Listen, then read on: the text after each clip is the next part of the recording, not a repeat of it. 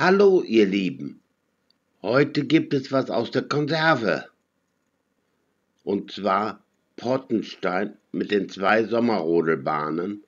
Leider nicht jetzt auch vom neuesten, sondern von der Zeit, wo noch oben auf dem Berg der Hexenbesen gebaut wurde, was man auch im Video erkennen kann.